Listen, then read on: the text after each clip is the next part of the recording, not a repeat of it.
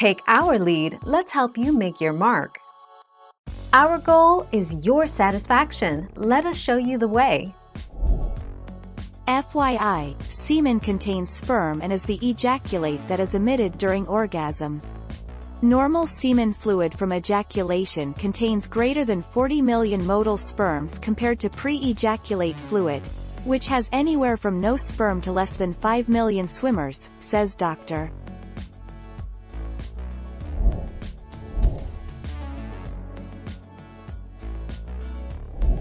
Make your mark, take our lead.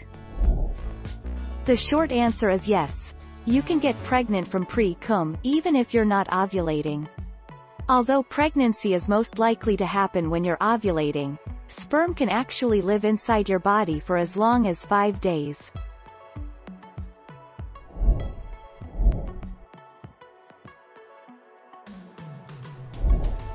Take our lead. How much sperm does it take? In theory, a single sperm is all it takes to get pregnant.